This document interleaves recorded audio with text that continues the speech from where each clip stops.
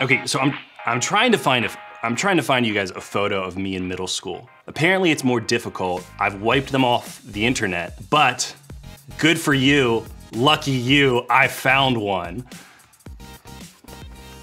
Okay, this this is me in middle school.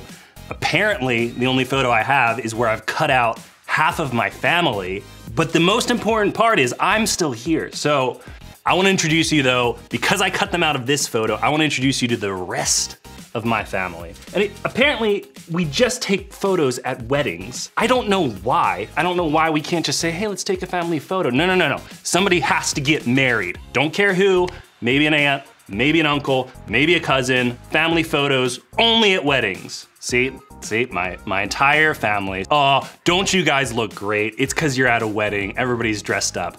This is not how we normally look.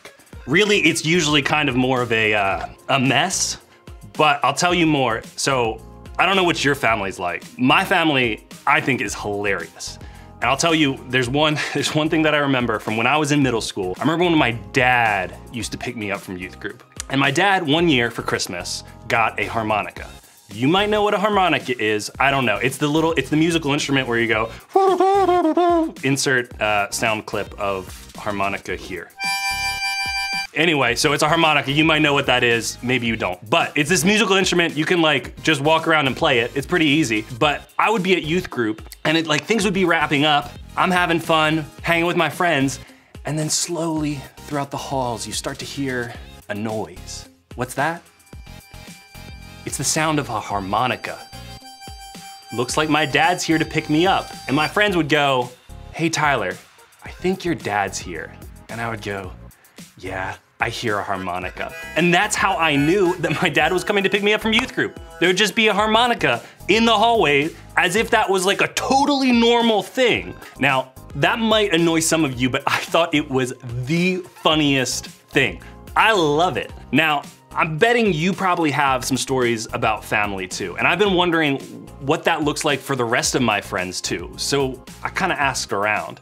So one of my family traditions is that um, my sisters and I are all named Jean and I'm Korean and so we have like a, there's like a particular naming pattern that all the kids get. My name is actually Jean Sun. My younger sister's name is Jean Young and my older sister's name is Jean Na. But whenever anyone would call our home phone and my mom would pick up and they'd be like, oh, you know, we want, uh, can I talk to Jean? And my mom would say, well, which Jean do you want to talk to? And they would be on the other end like, Jean, like wh what other Jean is there? And 99% of the time, the person on the other end would just hang up because they're just so confused. So, yeah. Okay, so we use aunt and uncle nicknames like a lot of families do, and somehow my name is Stuart, and I ended up with the uncle nickname Tutu. Who wants to have, you have an uncle nickname that's Tutu? That is a, you know, a dancing thing. But anyway, that's who I am. To all my nieces and nephews, I am Tutu. So in my family, we use lots and lots of nicknames. As a matter of fact, my mom actually calls me Mama Mia, and I call her Baby. So one of the traditions when I was a kid that my family would do to celebrate New Year's, we would cook a whole hog and we would have what is called a pig picking and it would be drenched in vinegar barbecue sauce because that's what we did in North Carolina. So something unique about my family, our um, last name is Bohens, and growing up, every time we would go out to a restaurant to eat and we would put our name in, what's the thing up front called? The host for some reason, and I don't know where why this started or where, but we would always go by the name Green, which all of us in the family knew, but whenever somebody was joining our family for dinner and they'd be like, Green, party of six, and we would all stand up, our friends or whoever was joining us for dinner would kind of look at us like, I thought your last name was Bohens. But I guess it was because it was like hard to pronounce or something. See, I'm not the only one. And I bet that's true of you too. And that's kind of the thing about your fam, or, you know, fam is short for family. It's how the cool kids say family. But that's like the thing about your fam. They can make you crazy, they can embarrass you, but they can also be the ones cheering the loudest in the stands. They can get on your nerves, they can be some of the strangest people you know, and you can still love them. You can still love being around them. They can be some of the most encouraging, loving, and supportive people in your life. Now, here's the thing. I know not everyone likes being around their fam. And that's because family can be stressful, unpredictable, even exhausting at times. Fighting, health issues, divorce, lying, rules, all these things and more can kind of make family a lot more complicated. Now, add faith to that equation. Believe it or not, faith, what each of you believes or doesn't believe, can make things even more complicated with your fam. Whether you've been a Christian for a long time or this Jesus thing is really new to you, here's what I would want you to know. Faith can create tension in your family. Maybe you already know this is true because your faith is really important to you.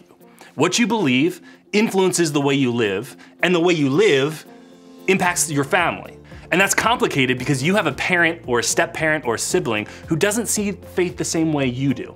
Basically, they, they aren't Christians and you are. Or maybe they are Christians, but they give you a hard time for taking it so seriously. And honestly, you're not sure if you're even supposed to talk about any of this faith stuff with them at all. They might believe something totally different than you, and that feels strange. It feels like you're on two different pages. Or Maybe for you, faith impacts your fam in a different way. Because in your home, it's your mom or foster parent or grandparent who's really into this Jesus stuff.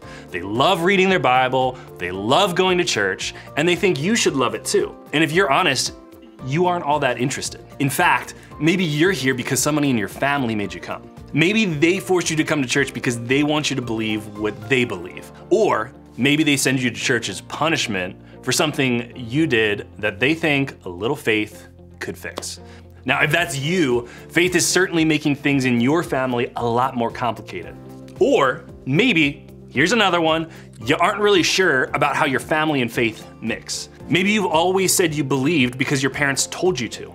But as you get older, you're not so sure what you really think. But still, you're told to honor your parents. But the truth is, you don't always get a lot of choice in the matter, do you? So you keep going through the motions, but inside, you're kind of struggling. And because you can't talk to your family about it, it's making some things at home feel a little bit different. Do you see what I mean? Like, in one way or another, faith can create tension in our families, which is confusing because we're also told that faith is somehow supposed to make things better in our fam. But that doesn't always seem true, does it? So the question is, if faith can create tension in our families, how do we make sure faith is actually helping to make our families better? Pause, stop, break, good news. I think I might have an answer to that question. Technically, it's not my answer to that question. It's actually something Jesus said. And a guy named John, one of Jesus' closest friends and followers, wrote it down so that we could learn from it today.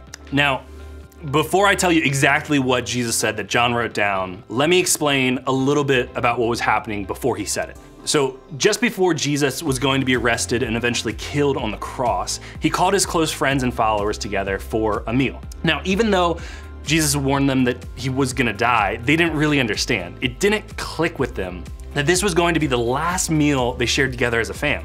To them, they were just doing what they always did as a family. They were like kicking back, someone's making pizza, someone's talking about how their how their day was. I don't know. They they were just they were talking, having a good time, sharing a meal, talking about life. But because Jesus knew the way things were about to go down, he wanted to share a few really important words with his closest people.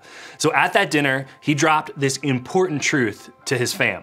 And not like literally his family, but his close people. You know what I mean. So he said, By this, everyone will know that you are my disciples if you love one another. Now, this word disciples here, it just means that, that you follow Jesus. Jesus was saying that people will know we follow him and believe in him by the way we love each other. Jesus knew that difficult times were coming. He knew that this wasn't just a fun meal and that things were gonna get harder that his friends would get scared, persecuted, and even tempted to turn their back on him. Yet, when it all came down to it, Jesus took this one last opportunity to remind them that loving each other was the most important thing they could do. Loving each other was the way they could show the world that they believed in him. Loving each other was the way their faith could make an impact.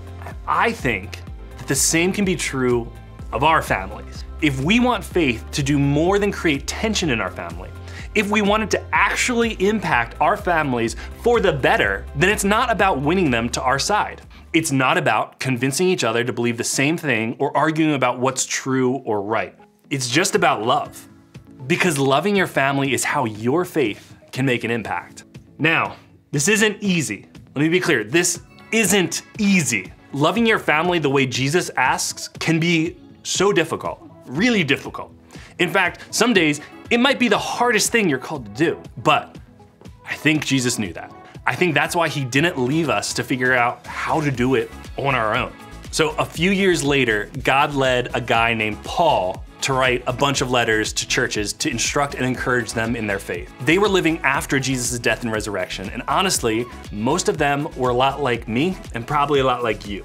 They were people just trying to figure out how this whole faith thing impacts the different parts of their lives. And in one of the letters, Paul laid out for them and us exactly what this looks like to love others.